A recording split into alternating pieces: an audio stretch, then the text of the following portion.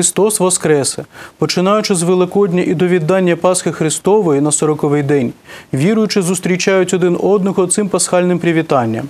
В ефірі телевізійний єпархіальний огляд, і сьогодні у випуску розповідь про останні найбільш значимі події в житті Одеської єпархії. 30 березня православна Одеса святкувала пам'ять преподобного Олексія Чоловіка Божого. У тиземітому храмі на Олексіївській площі в цей день божественну літургію очолив митрополит Одеський і Ізмаїльський Агафангел. Осан на вишніх, благословен, хто йде в ім'я Господнє. Діти зустрічають Ісуса Христа, підстилаючи гілля по дорозі. Святом входу Господнього в Єрусалим або вербною неділею почалася велика страсна седмиця. Подія встановлення таїнства причастя таємна вечеря Вселенською церквою згадується у Великий Четвер.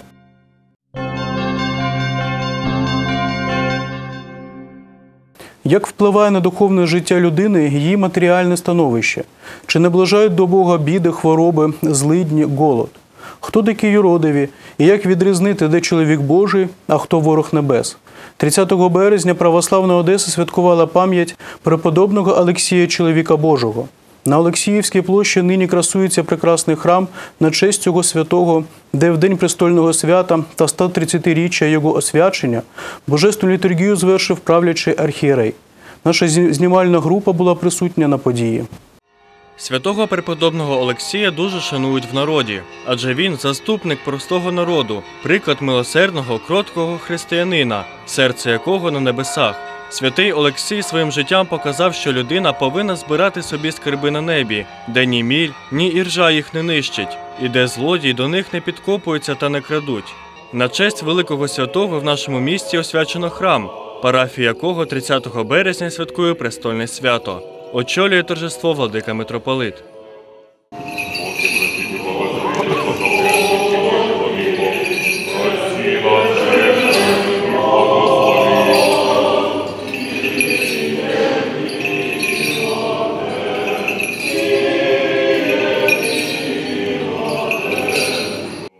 Святий Олексій походив з багатої, але в той же час ніще любивої сім'ї.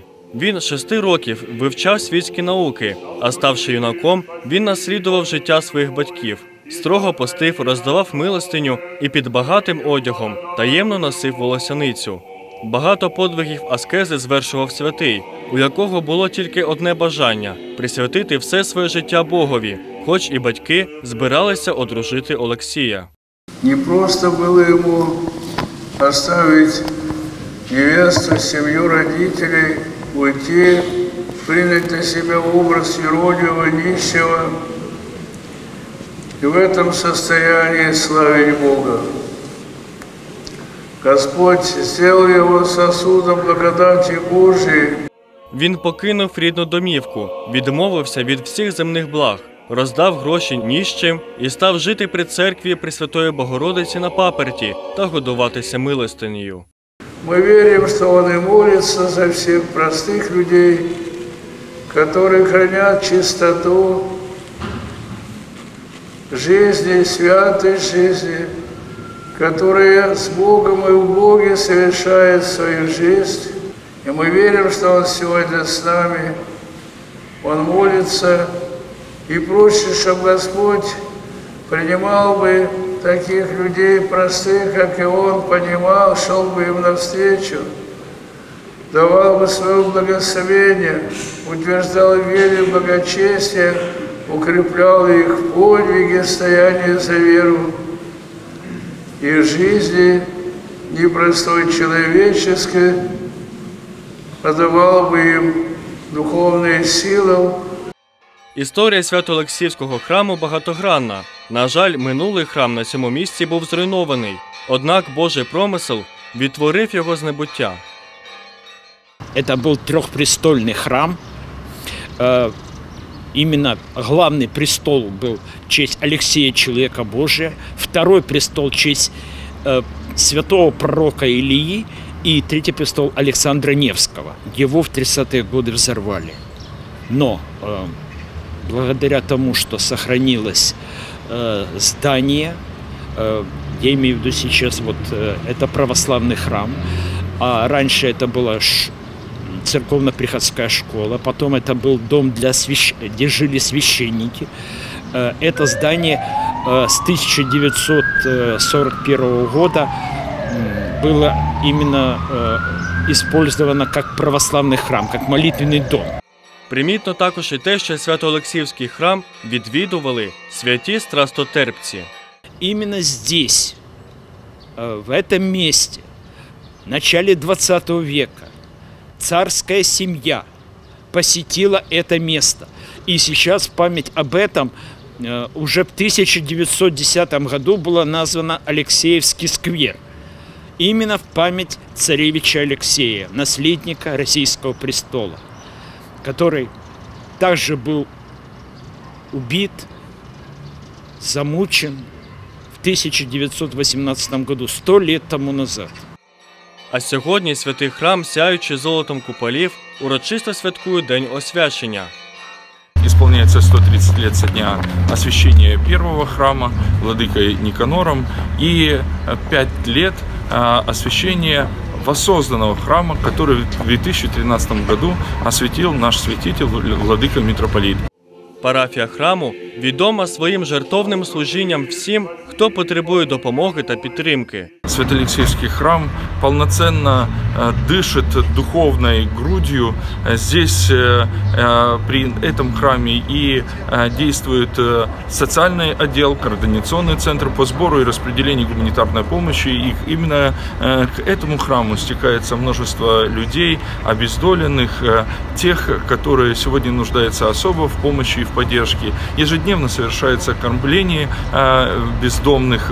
Около 200 человек каждый день получают здесь горячую пищу. А, Сотрудники отдела посещают и заключенных в тем- в те- в темнице, и а, больных, куда а, мало кто доходит. Это люди, которые больны туберкулезом, особенно а, дети, которые больны этой страшной болезнью. Это онкологические больные. А, И для всех этих людей находится помощь, поддержка, слова утешения, а самое главное – жизненное участие.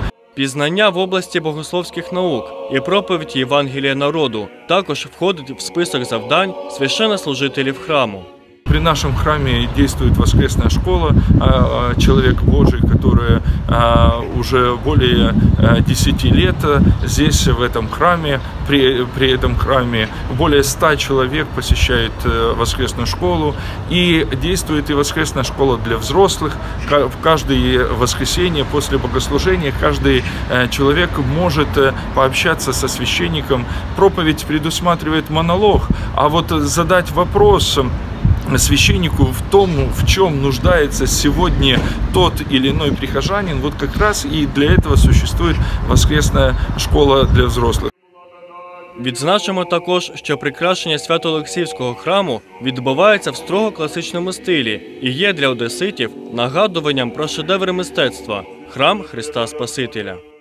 Сегодня э, идет э, роспись храма. Основные строительные работы были закончены в 2013 году. Сейчас э, э, ход работ – это благоукрашение, это лепные украшения, это золочение, это роспись. Все это происходит в таком принятом э, для этого типа э, храмов классическом э, традиционном стиле.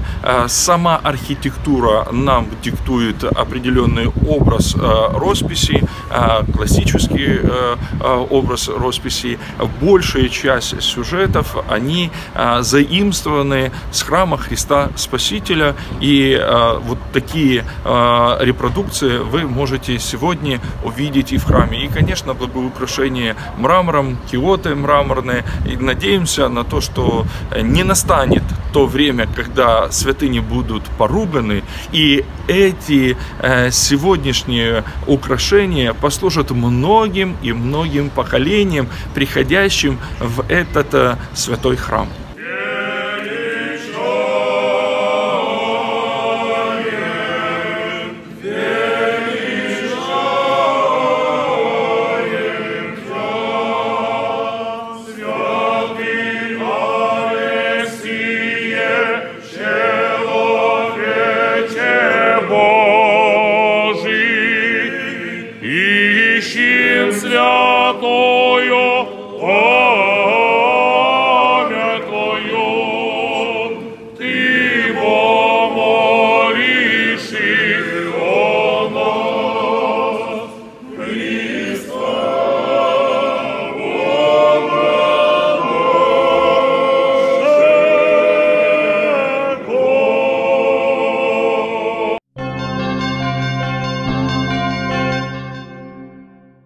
Ось смирено на ослику у Єрусалим в'їжджає Спаситель.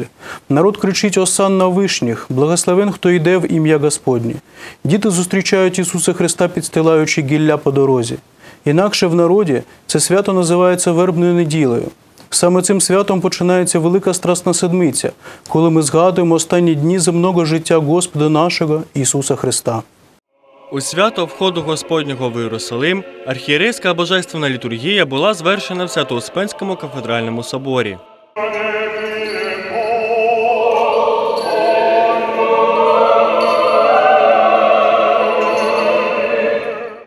Сьогодні православний світ згадує урочистий вхід Ісуса Христа в Єрусалим, який був вступом його на шлях хресних страждань. У євреїв був звичай царі та переможці в'їжджали до Єрусалиму на конях або ослах, і народ урочистими криками з пальмовими гілками в руках зустрічав їх. Виконуючи пророцтво Старого Завіту, Христос саме таким урочистим чином в'їжджав в Єрусалим. Почему Господь выбрал именно такое средство передвижения? Апостолы удивились, так как Господь никогда раньше не ездил верхом на коне либо на осле. И вот здесь Христос выбрал не коня, который является символом воинственности царя, а именно осла, показывая свою кротость и, конечно же, смирение. Не як цар земний, а як цар, царство якого не від світу цього, як переможець гріха та смерті, ішов до Єрусалиму Спаситель. И Господь останавливается, взирая на Иерусалим, обращается к Нему со словами «Иерусалиме, Иерусалиме». Сколько раз я хотел собрать чад своих, твоих под крылья свои, но Ты не захотел. И, конечно же, мы видим здесь горькое сожаление Христа о том, как Иерусалим, все жители Иерусалима, иудеи, к сожалению, не узнали времени своего. А ведь и мы тоже с вами, дорогие братья и сестры, не узнаем времени своего, начала своего исправления. Мы очень часто остаемся глухи к велениям совести, к голосу Божьему в нас. Его встречали торжественно светлевами, постилали одежды свои подруги, а когда на свят, которым ехал, восклицали сосана высших благословен во имя Господне. И мы сегодня встречаем Господа Иисуса Христа, подобно Иерусалима, в свете мирваемый, пришли для того, чтобы быть со Христом, для того, чтобы радоваться торжественному году, который идет, для того, чтобы пострадать, видеть крестную смерть за нас грешных, очистить нас своей кровью. И мы апостолу Павлу всегда в дни Святой Четырехдесятницы, когда Господь наш Иисус Христос будет предан, распят и воскреснет, должны обреться нового человека и праведность, отложить гнев, ярость, всякого святого. Як і два тисячоліття тому, народ вітає Спасителя світу як царя гілками. Гілки фінікової пальми у нас замінюють вербами, так як на вербі раніше інших дерев з'являються бруньки. Стоячи з гілками верби і запаленими свічками, народ символічно зустрічає Спасителя як царя слави, що добровільно йде на страждання. Я чувствую, что должен отдать Господу Богу дань какую-то за то, что Он э, пришел спасти нас, поклониться Господу за то, что Он жизнь свою дает за нас всех.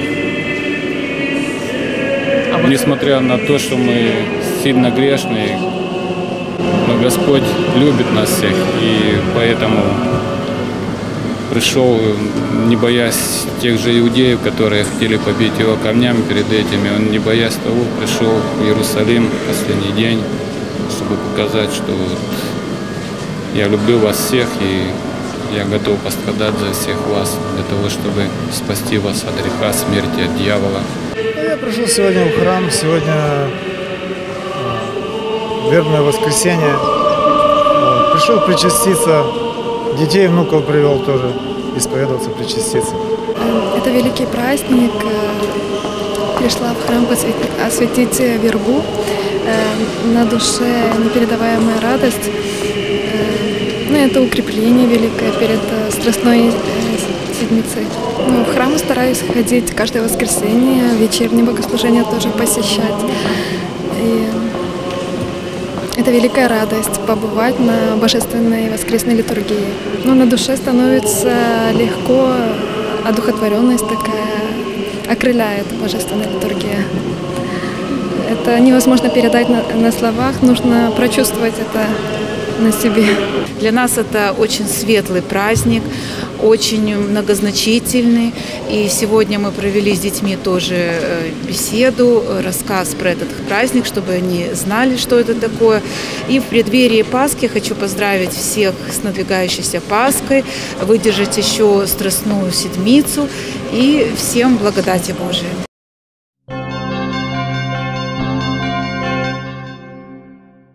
Прийміть, споживайте, пийте з неї всі.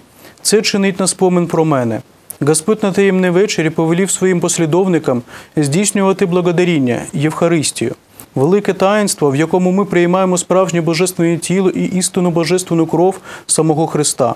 На кожній літургії хліб і вино переосутнюються невидимо в тіло і кров, і ми єднаємося з Спасителем, беручи участь в таїнстві причастя. Подія встановлення таїнства таємна вечеря Вселенською церквою згадується у Великий Четвер. З богослужіння Великого Четверга наш репортаж. Великий духовний зміст передає нам Великий Четвер. Зміст, що допомагає нам зрозуміти найголовніше в житті християнина насичення себе святою благодаттю в таїнстві Євхаристії. пьюще, взывающее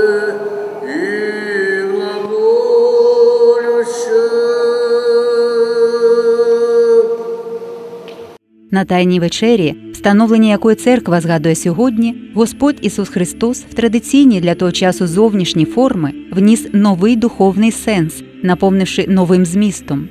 Так, наприклад, звичайна гігієнічна процедура вмивання ніг при вході в будинок стала уроком смирення, викладеним Спасителем для своїх послідовників на всі часи. І пасхальна вечеря, присвячена спогадам про старозавітне свято Пасхи, перетворилась в першу Євхаристію, з якої почався відлік нового буття Святої Церкви. берет хлеб, ломает его и раздает своим ученикам со словами «Примите, ядите, это тело мое, которое ломается ради вас, которое уже готово на закаление, которое через несколько часов будет проткнуто копьем римского воина». Затем, по окончании вечера, подает им чашу, говоря, пейте от нее все. В этой чаше моя кровь, кровь Нового Завета, которая за вас, ради вас, ради каждого из нас изливается, чтобы мы все приняли оставление греха. Эти слова вновь и вновь звучат ныне, звучат, будучи обращенные к нам. И мы молимся, Господи, вечери Твоей тайны, днесь причастника или причастницу, меня прими.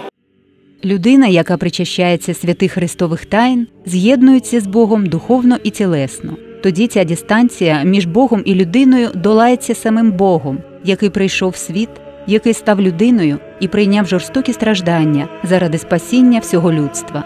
Господь прийшов для того, щоб жити в нас і щоб ми були справжнім царственним священством.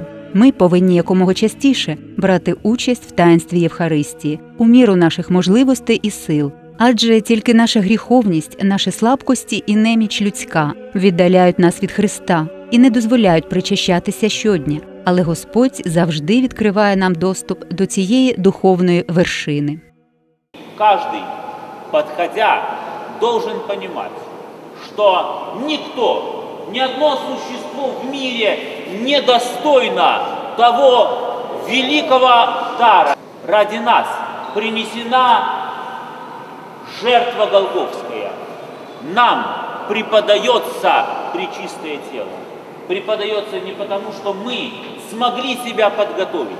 Преподается нам не потому, что мы вычитали каноны и отпостились, поисповедовались. Преподается по любви и осознавая собственные недостоинства.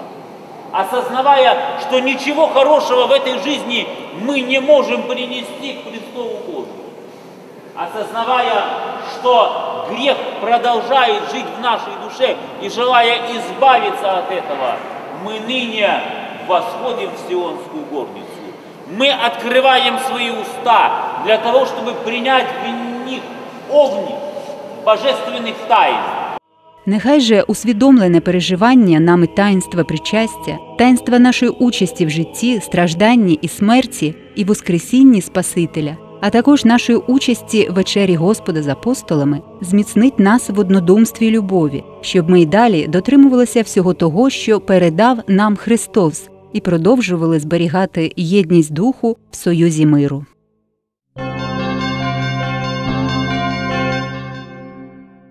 Христос Воскресе!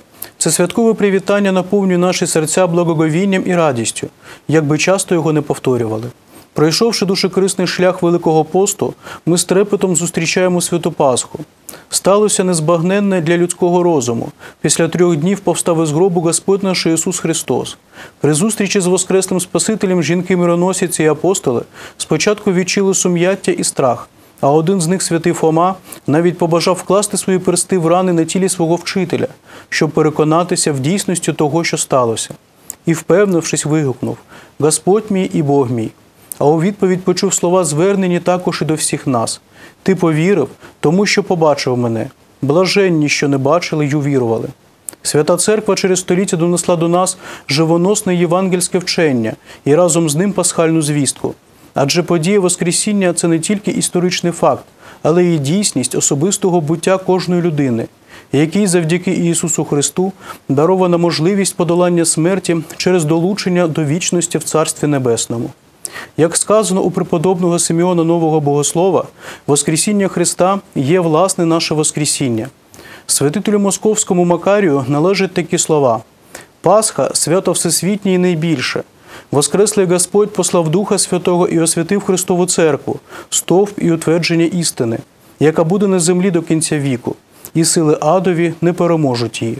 Ми стаємо співучасниками пасхального торжества, перебуваючи в рятівній огорожі Святої Церкви, прагнучи проводити життя молитовне і благочестиве, постійно пам'ятаючи про справи любові, жертовності та милосердя.